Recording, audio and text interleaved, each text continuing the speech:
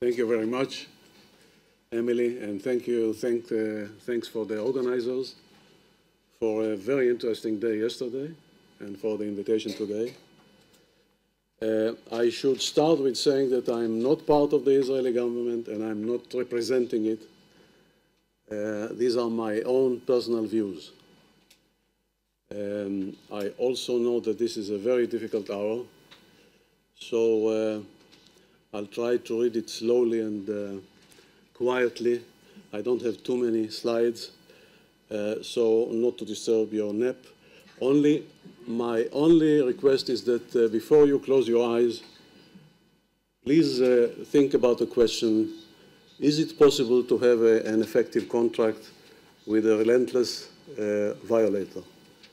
My personal answer is yes, and you have to find how.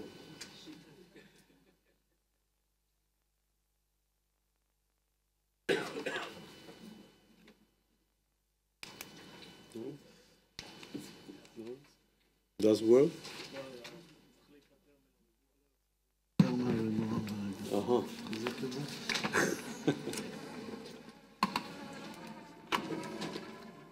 okay.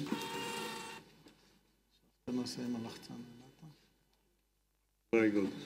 Thank you.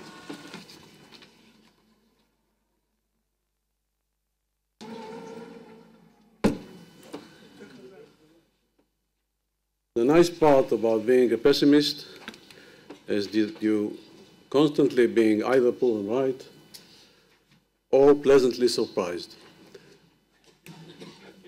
That's uh, George Will. But uh, I would suggest to start with a more difficult part, the optimistic assumption. And this is the optimistic assumption. Iran will fully comply with its obligation under the JCPOA because they have much to gain under the agreement and they will be almost free again uh, in the nuclear sense in nine, years.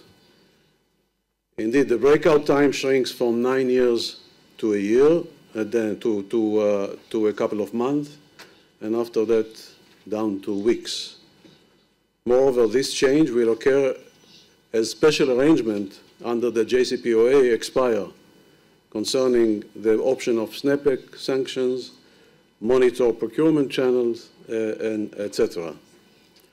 So practically, under the optimistic assumption, the problem will reappear in nine years, with Iran most probably in a much better economic and international position. Given the current global conditions, and especially the volatility in our region, it's not possible to count on hopes for the disappearance of the nuclear problem in nine years. For example, by Iran's uh, regime changing for the better and giving up the nuclear weapon options, or on the other hand, in a case of Iran crossing the 90% enrichment, by a possible American military attack. So the problem is going to stay with us. Iran enrichment plans have no peaceful purpose because they are unnecessary and uneconomic. We have to remember that. And here are the relevant facts. The Bushehr contract provides for a long-term nuclear fuel supply from Russia. For countries with less than 25,000 megawatt of nuclear power, indigenous enrichment facilities are not economic, and even distant Iranian future plans are much smaller. Moreover, there is a global overcapacity for enrichment where Russia has the biggest capacity, and by the way, it's hard to imagine that it would cut fuel supply to Iran. But for countries still worried about the nuclear fuel supply, uh, nuclear fuel supply's disruption, although the, the, it, it never occurred, there are at least three possible options buying equity in existing enrichment plants with supply guarantee, which has been offered by Russia, the International Uranium Enrichment Center, and by France, uh, the Georges Besse II. And there is a third option.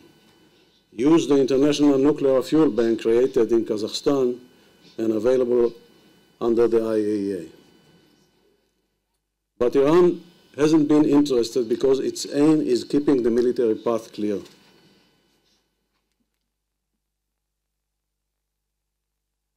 The problem could become broader sooner than nine years when other countries in the region follow the Iranian example and insist on indigenous enrichment uh, capabilities as part of their nuclear plans. So I think that the next 10 years should not be used just to postpone the problem, but to establish ways for dealing with it. And there is a way. There are only few, five, and in the future maybe six, nuclear power reactor suppliers. Under a supplier agreement, suppliers agreement, they could condition reactor sales on inclusion of, an inclusion of fresh fuel supply and spent fuel removal as part of the deal, making by that enrichment and reprocessing facilities at the receiving state unnecessary and even prohibited. So this is a fuel cycle. These are the dangerous facilities, enrichment and reprocessing, enrichment because of enriched uranium, of course, and reprocessing because of plutonium production or plutonium separation. And uh, the, the new norm should uh, say very simply that if you want a reactor, you'll have to buy from us the fresh fuel and we'll remove the spent fuel um, afterwards. Such a new norm based on suppliers agreement can have an economic advantage for the suppliers as well as the buyers and is very close to the normal mode of operation in the market.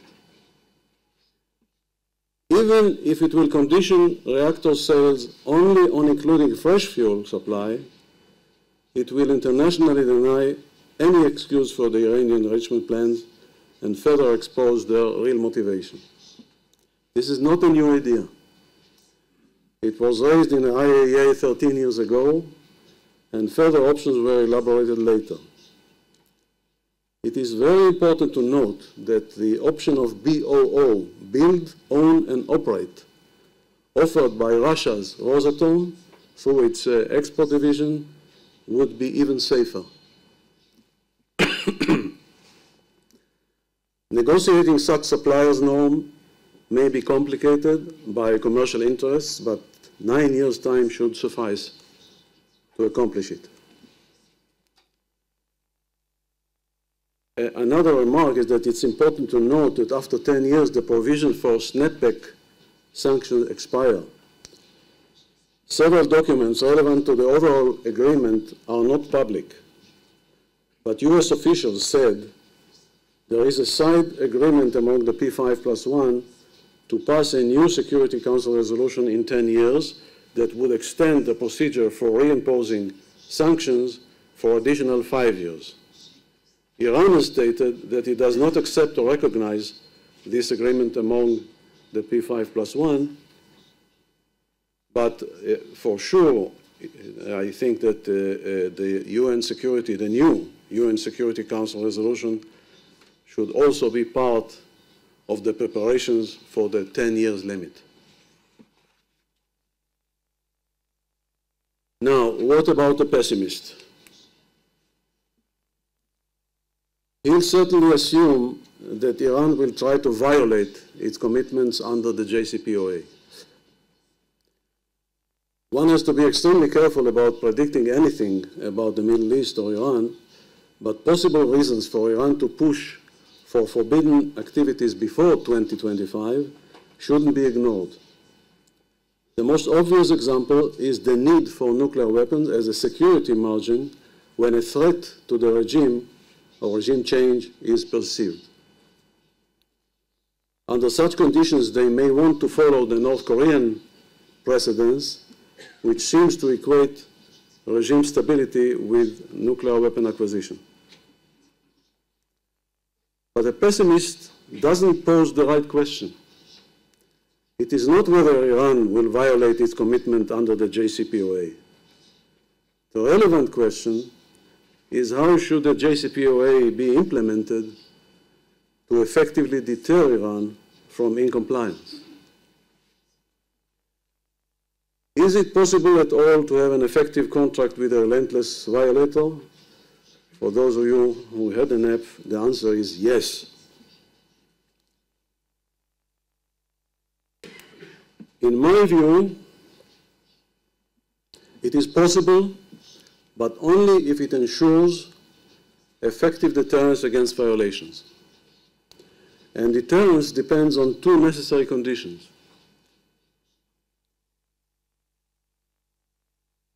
Timely detection of violation and enforcement of corrective uh, measures once violation is detected. The IAEA, of course, is responsible for the detection, and the Security Council, uh, they, are, they are responsible for the enforcement.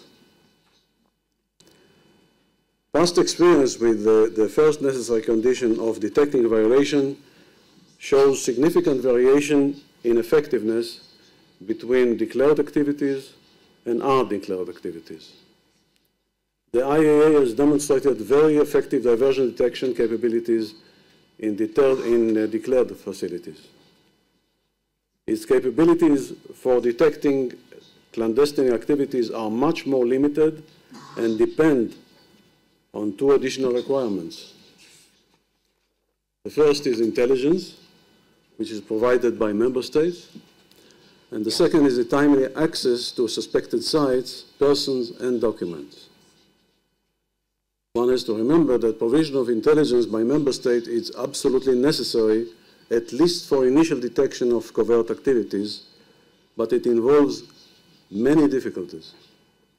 Delays in gathering, compatibility with the agency safeguards contracts, risk of disclosing means and methods, and the need for the IAEA to authenticate somehow the information. I would like to emphasize here that one of the major problems in keeping effective deterrence against violation depends on maintaining a long-term focused intelligence or efforts on possible covert uh, activities in Iran. The impression that signing the JCPOA put the major obstacle behind and the day-to-day -day urgent demands on intelligence services could change priorities and diminish the detection capabilities. It is a major implementation problem, not in the hands of the agency.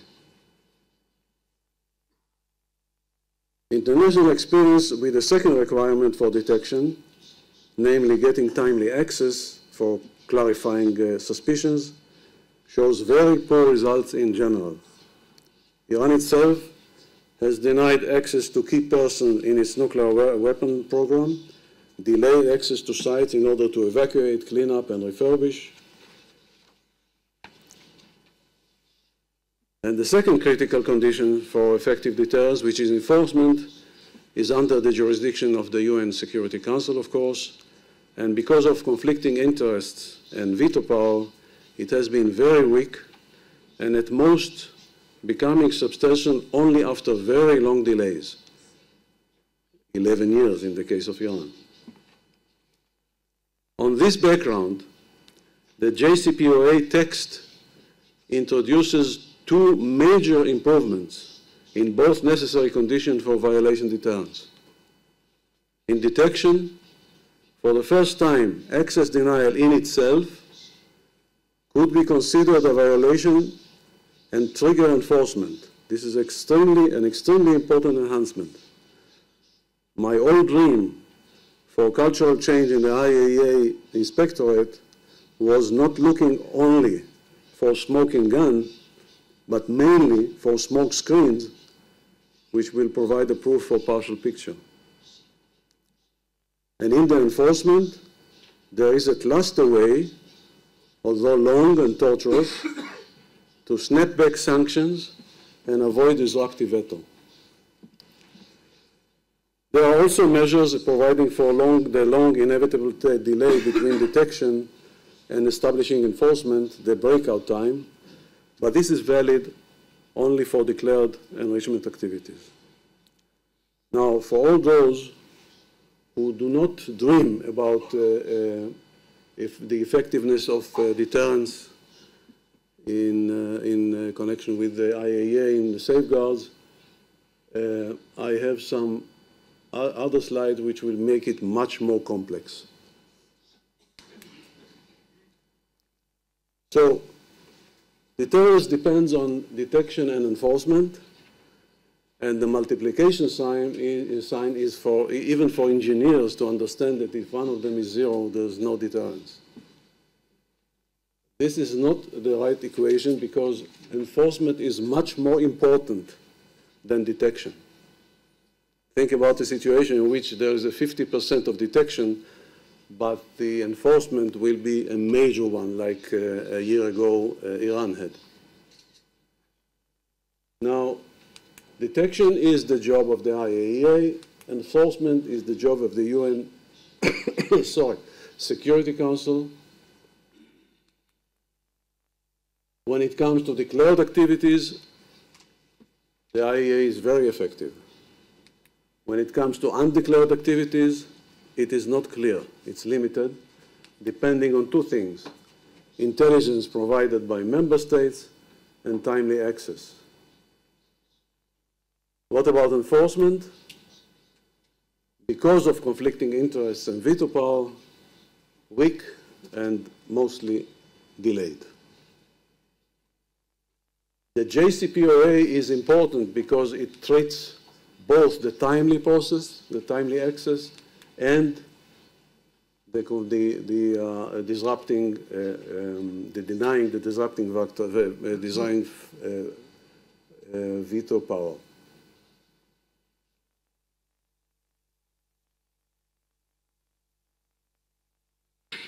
But a crucial test is not the JCPOA text, but does Iran perceive these improvements effective enough to deter it from violation?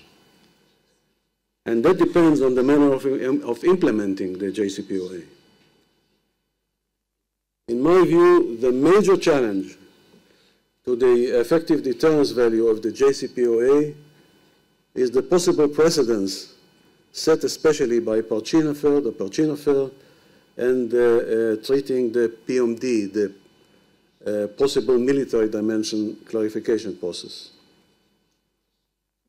Assuming that intelligence indication about suspicious clandestine activity are provided to the agency and were, were provided and were authenticated. The next necessary step is getting access to the suspected sites. The Iranian mode of operation has always been delaying access in order to evacuate, clean up, and fully refurbish their suspected facilities. In Kalaye Electric, the cleanup efforts of several months failed because nuclear forensic sampling identified 80% uranium enrichment.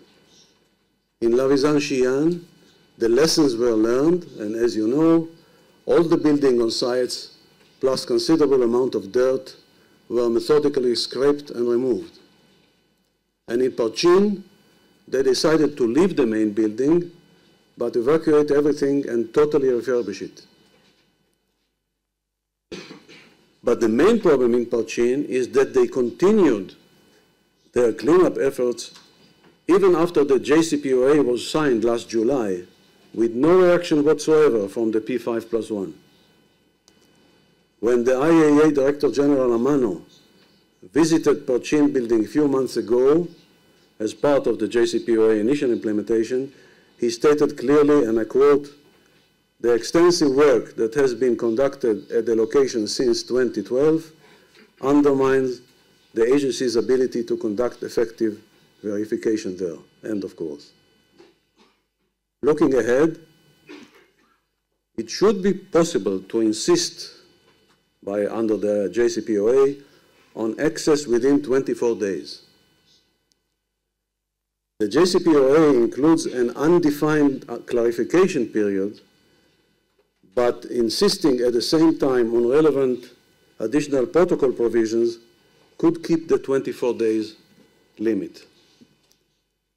It is important to note that all the secret, secret activities on the sites mentioned earlier were not pre-designed for full containment and quick evacuations. If clandestine experimental activities for some weaponization development efforts are pre-designed for it, 24 days could suffice. But even then, evacuation and cleanup activities during the 24 days period will be necessary.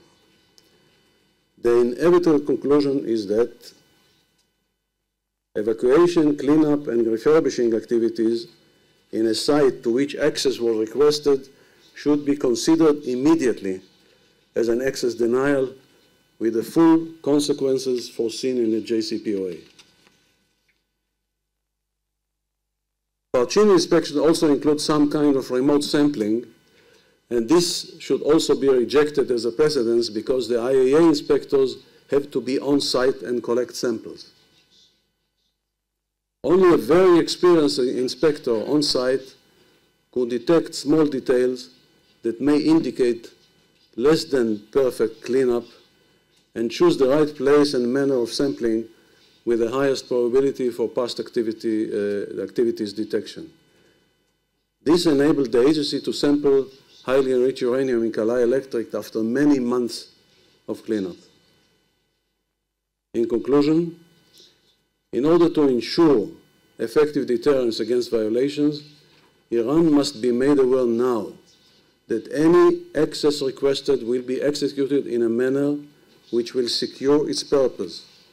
And if managed access is provided after cleanup or without inspectors sampling on site, it should be pronounced as access denial and trigger immediately the dispute resolution process. An additional point concerns the, the additional protocol provisions which are an integral part of the JCPOA. One of the most important objectives of the IAEA verification process is reaching what is called a broader conclusion, which means that the inspected uh, country's uh, declaration on its nuclear activities is not only correct, but also, but most importantly, also complete, meaning that there are no indications of covert activities. For completeness check, the agency has to check every available suspected indication to verify that it does not arise from any clandestine activity. The impression about the unpublished process agreed upon between the agency and, and Iran on clarifying the possible military dimension is that many issues were not clarified. Consequently, the agency must return to investigate those issues in order to reach a broader conclusion. My last remark is about nibbles and nuanced approach to enforcement. Any party to the JCPOA could bring a complaint of significant non-performance directly to the UN Security Council at the end of 30 days and practically activate the sanction uh, snapback. Such an action will crash the JCPOA because Iran notes in the resolution that it will treat this as grounds to cease performing its commitments under the JCPOA. Iran, of course, wanted to present a high price, not keeping its commitment anymore, as a balancing threat in case of a sanction snapback. This created some thoughts about the need to define different and less severe reactions to deter more marginal violations. The need for such an approach is understandable, but it also creates dangers arising from a lack of clear red line. Past experience indicates that Iran may try to test the limits defined by the JCPOA with effective bazaar techniques. Such nibbles could include, for example, deviation from the 300 kilo, kilograms uh, cap on low enriched uranium, by, for example, not, uh, not succeeding in selling every month something like 100 kilos and so on. Um, such increase in the, in the cap uh, amount uh, directly shortened the breakout time. But that's only one example, and they can, there, there can be many more. The Joint Commission's demands for correction should be clear and immediate and include reaction less severe, reactions less severe than snapback if necessary. But considering the major challenge in deterring covert activities, it's crucial that access denials, including cleanup actions, should be perceived as crossing the red line and should be declared in advance as significant non-performance. This short description also indicates a change in the agency's mode of operation.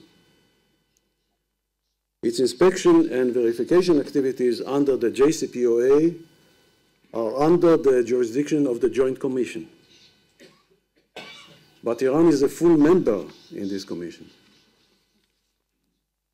This puts a special burden on the P5 plus one not to allow conflicting interests to intervene with or even delay the agency's inspections activity. Who has jurisdiction on the IAEA duties under the additional protocol in Iran? What happens if there is a need for immediate access request without waiting for a clarification process, which is possible only by applying both the JCPOA and the additional protocol? This combined application is needed to ensure the 24 day, days limit for providing access. There are many crucial issues that would have to be resolved by the P5 plus 1 in a clear and a timely manner to let the agency carry out its duties effectively. It remains to be seen if conflicts between the P5 plus 1 themselves would allow it. In summary, the risk of being a pessimist, either a pessimist or, or optimist, is that strong beliefs about the future may lead to inaction. So what I would like to suggest that what's needed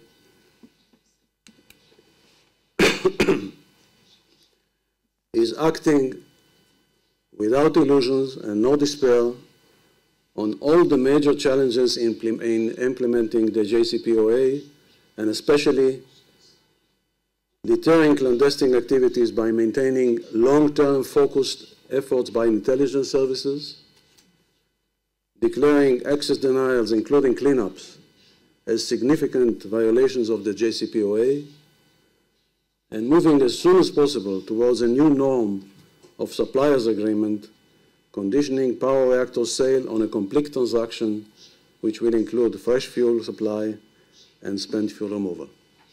Thank you.